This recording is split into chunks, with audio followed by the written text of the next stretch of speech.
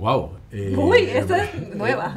Sí. nueva la bueno, pregunta. pues eh, para empezar que estamos hablando de, de un artista tremendamente interesante, muy transgresor, en una época donde la manera en la que él tenía de expresarse, de vivir su vida y su intimidad era muy difícil de, de llevar por toda la exposición mediática, por él como, como artista y por su familia.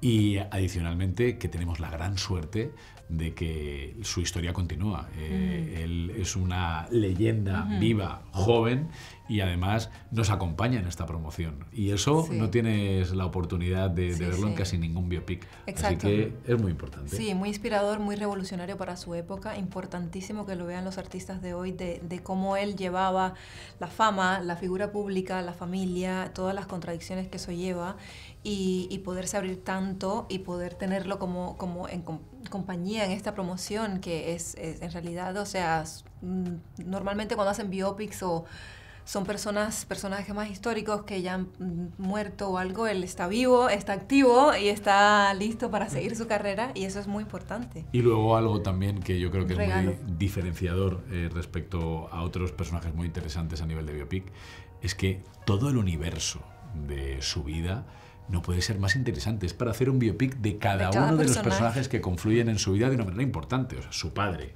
En- aquí estamos el, el Julio Iglesias y Janina Facho, que cada Sí. uno ten- tiene una historia más y más interesante. Entonces, la serie es, es muy rica porque cada persona que aparece por allá, más el contexto histórico donde se desarrolla, es para estar con los ojos No, abiertos. Sí, no hay nada descontado. O sea, todos los personajes son muy, muy interesantes y, y no, no, no son banales. O sea, no están puestos ahí solo como una muletilla, ¿no? De, de- de llevar la historia adelante, pero muy interesante.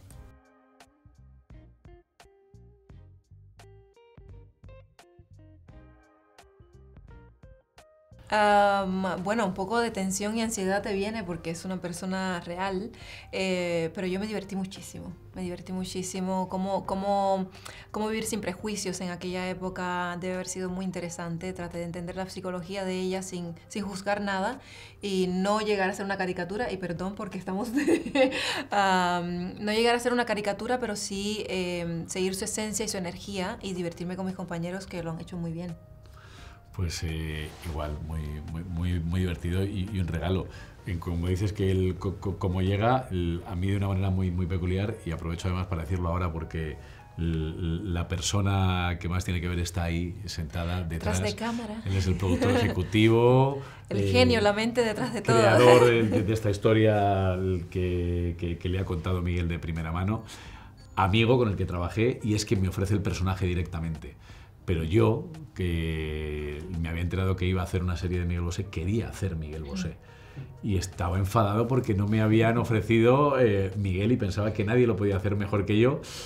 Hasta que, bueno, pues como somos buenos amigos y nos tenemos eh, mucho cariño y, y admiración, me hizo ver que este era un regalo para mí. Sí. Estoy muy agradecido y no hay nadie que pueda hacer de Miguel mejor que José Pastor e Iván Ujú. Sánchez en su Sí.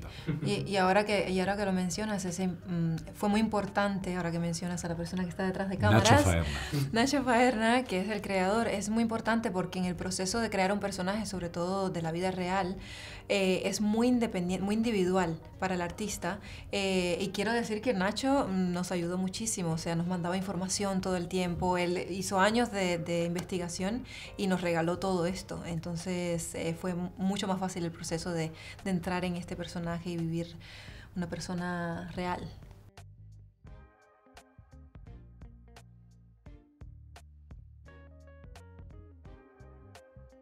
La espontaneidad para mí. O sea, ser tan espontánea, tan, tan viva, liberal, eh, lo tuve muy en cuenta. Eh, a veces vamos, si, si hay que decir algo serio en una, en una escena, vamos como a que lo más serio. eh, y yo siempre quise como que abrirme.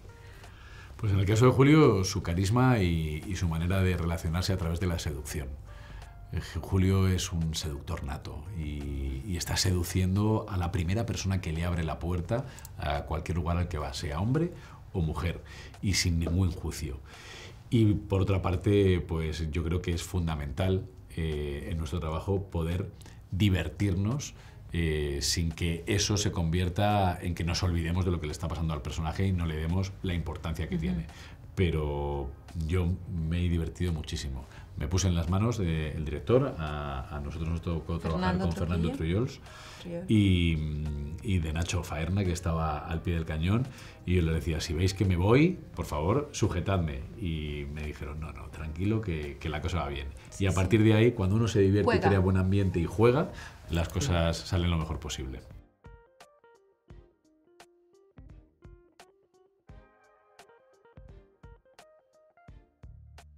Yo no tuve esa, ese honor, ah, pero espero que, que, le guste lo que he hecho en la serie.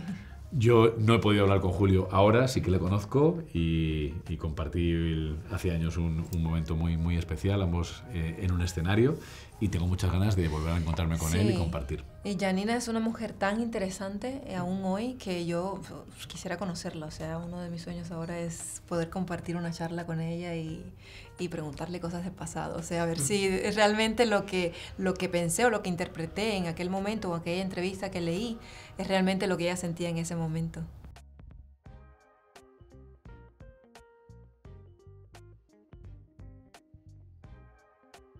Yo no, pero tenía mucha información, tenía mucha, mucha información de la época y me basé también en todos los guiones que leímos y bueno, José Pastor es una maravilla de actor y, yo me creí que estaba, estaba haciendo con, con, o sea, que estaba actuando con, con Miguel Bosé porque está, lo hace tan bien, su voz. Yo creía que era un playback cuando lo escuché cantar y era José Pastor. Pues yo, no he podido hablar eh, con Miguel sobre esto, sin embargo, como somos amigos hace años, incluso durante el rodaje nos hemos mandado unos cuantos mensajes, pero la amistad va por, el, por delante de, este trabajo. Tengo muchas ganas, de, de hecho, de verle esta noche. Hace tiempo que, no nos vemos en persona.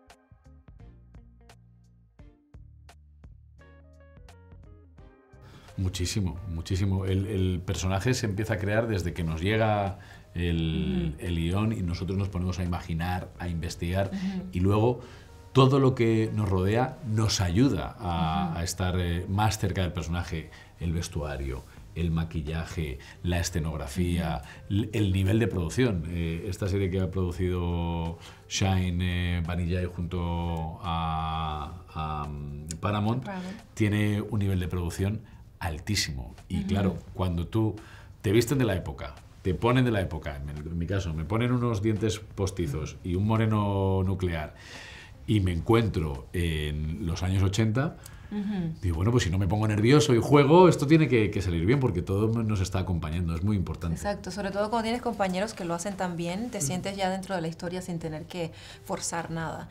Y el otro día que me preguntaban que cuál es la diferencia de trabajar en un set cinematográfico americano y español, porque es mi primera experiencia en España trabajando, eh, sinceramente, en este proyecto no siento la diferencia, porque el nivel de profesionalidad y de, y de, y de intensidad que tenían todos eh, es del perfeccionismo es admirable.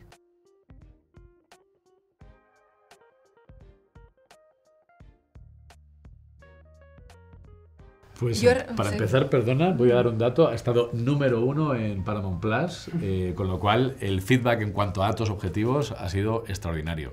Y lo que eh, yo he visto por redes sociales ha sido tremendamente positivo. Sí, a mí, sí, me han escrito personas también desde aquella época, o sea, que, que eran jóvenes en aquella mm. época y que se recuerdan de Janina y me dicen, wow, o sea, que la volví a ver cuando, cuando, cuando vi la serie eh, y me, me, me impacta mucho porque como quiera que sea, no vivimos esa época de persona y saber que gente sí seguían a estas figuras eh, como si fuera su día a día es, es impresionante. Esta noche canta.